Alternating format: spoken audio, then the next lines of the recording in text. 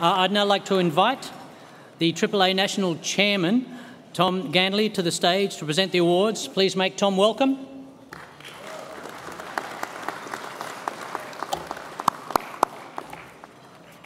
Uh, the next award we will be presenting is the Corporate Project of the Year Award.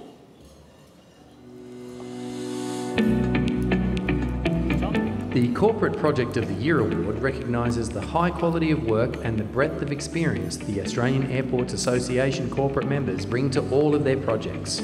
There are two award categories for the Corporate Project of the Year based on the size of the airport at which the project was completed.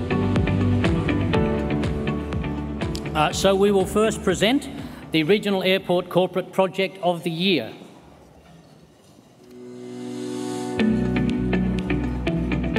Regional Airport Corporate Project of the Year nominees are AECOM Australia, Bankstown Airport Master Plan 2019, Aviation Projects, St George Airport GA Precinct Business Case, Avionics Airfield Lighting, Torres Strait Island Airstrip Construction Airfield Lighting Project, Downer EDI Works, Ayers Rock Airport Upgrade, Securing the Future of Uluru Kata Tjuta Region, Fulton Hogan, Bathurst Island Pavement Correction and Resurfacing Project, Fulton Hogan, Roma Airport Runway Resurfacing Project, Lower Capital, Project BXG establishing RPT services at Bendigo Airport.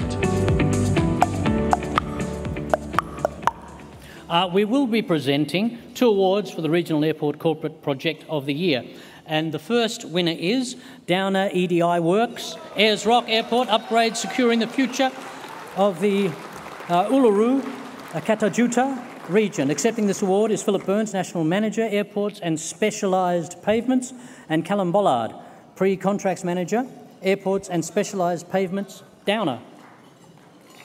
Round of applause, yeah, why not? Downer's rehabilitation of the entire airfield pavements was a critical project for Voyages, the airport operator, in order to maintain a viable and effective airfield and restore full functionality to the airfield. The airport is the first in the country to apply trapezoidal grooving to the entire runway, and despite the logistical challenges of the location, the project was a huge success, allowing extra flight movements, increased commercial flight capacity, and MOS 139 compliance. The local community was also invited to take part in the rehabilitation.